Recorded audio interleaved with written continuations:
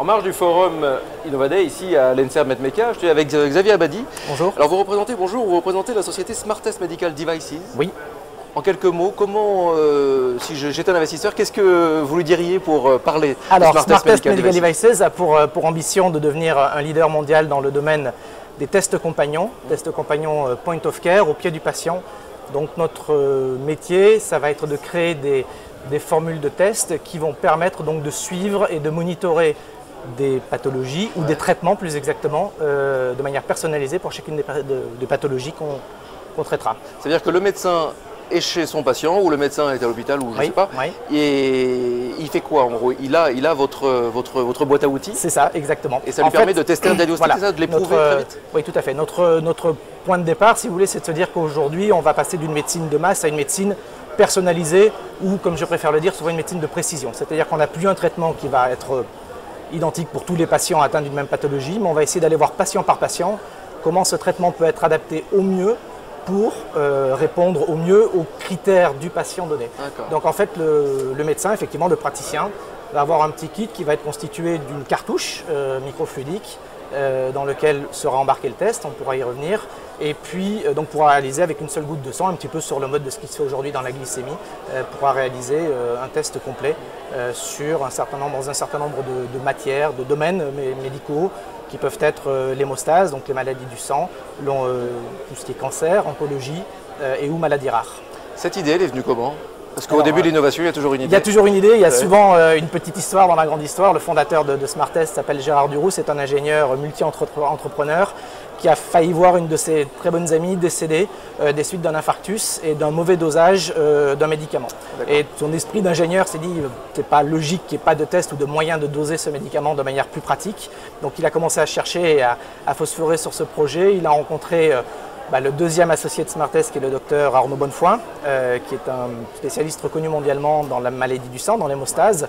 Euh, et de là est née l'aventure Smartest. L'aventure Smartest, mais du coup, c'est une aventure très longue.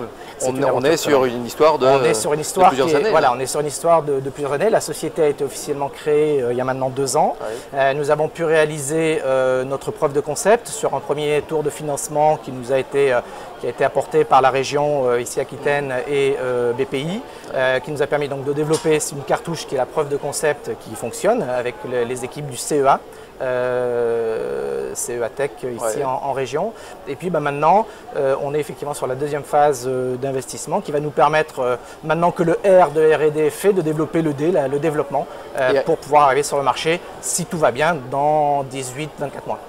18-24 mois Ouais. avant de voir vraiment un médecin Un équipé médecin de sa petite mallette à voilà, équipé de outils sa ma- petite mallette à outils, pour éprouver son diagnostic Oui.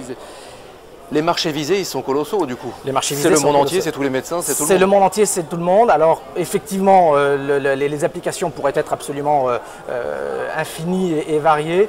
On a évidemment, nous, décidé de se spécialiser, de se focaliser sur un certain nombre de maladies, euh, parce que euh, soit on sait que c'est des maladies pour lesquelles il n'existe pas actuellement de tests, euh, soit pour lesquelles on, pense qu'il y a une vraie complémentarité avec, euh, avec les, les- les industriels. Donc notre, nos clients à nous, nos marchés, ce sont les industriels pharmaceutiques en fait, qui vont pouvoir développer ou utiliser notre solution autour de deux axes principaux sur un couple euh, produit-service en suivi de leurs médicaments existants ou en passage de gamme de tests laboratoire, on va dire en version point of care, en version au pied du patient.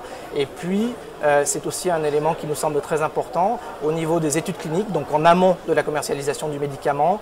euh, notre solution va permettre très facilement puisqu'elle est la solution et le, résultat est immédiat, de pouvoir euh, vérifier des dosages, vérifier des formulations de médicaments. Et donc euh, on espère faire gagner euh, beaucoup de temps à l'industriel pharmaceutique dans cette phase de tâtonnement, de recherche qui est celle de, de l'essai clinique.